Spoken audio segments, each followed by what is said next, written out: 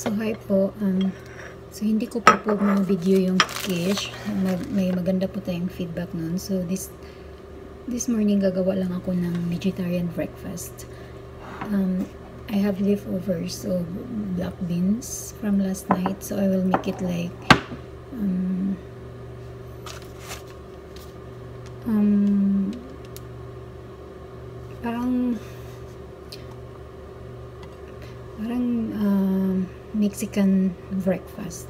So, so very simple po kasi um, first butter ko yung pan. Ginamit ko yung ito lang muna. butter natin to.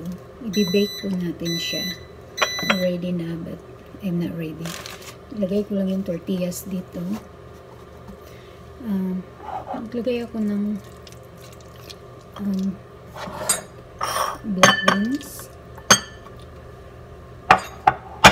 So, make uh, cream fraiche po tayo. And cheese.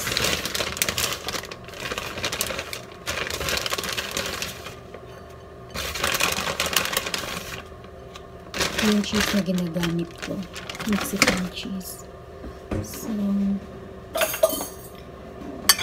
halo lang po natin.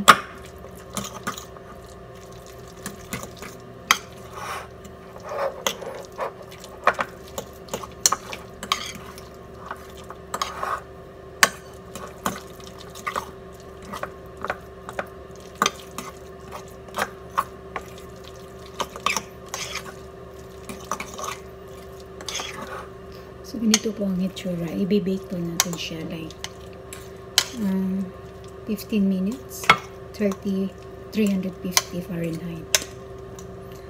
Ilagay natin siya dito.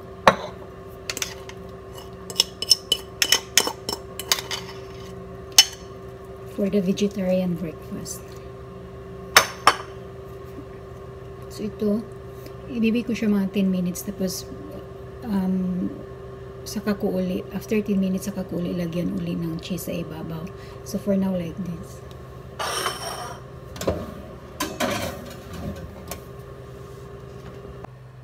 So ayan po. Ang itsura niya. So ito na po siya after 10 minutes. Dadagdagan lang po natin ng cheese. Magdadagdagan po tayo ng cheese para hindi po yun masubog yung cheese. Kaya ginagawa ko 10 then 5 more minutes. Para creamy yung cheese sa ibabaw. Kasi lagi po akong ganun. Lagi ko nasusunog yung cheese.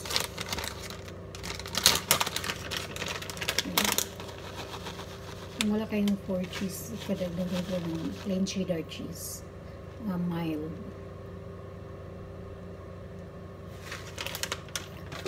So, ilagay na po natin ulit.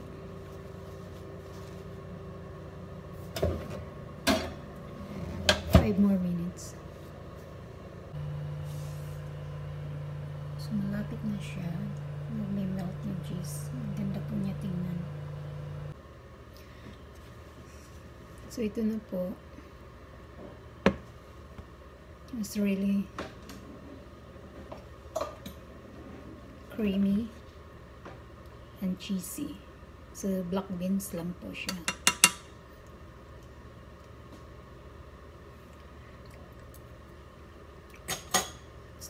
It's very good.